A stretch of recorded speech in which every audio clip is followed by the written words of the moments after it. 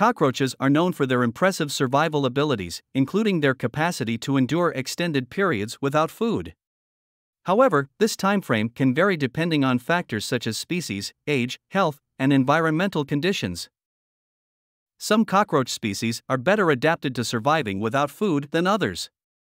For instance, German cockroaches, Blattella germanica, are known to have a higher tolerance for hunger and can survive for several weeks without eating. On the other hand, larger species like American cockroaches, Periplaneta americana, have a lower resistance to starvation and may not last as long without sustenance. It's important to note that cockroaches can't survive indefinitely without water. Without water, cockroaches can die within a matter of days to a week, depending on the circumstances.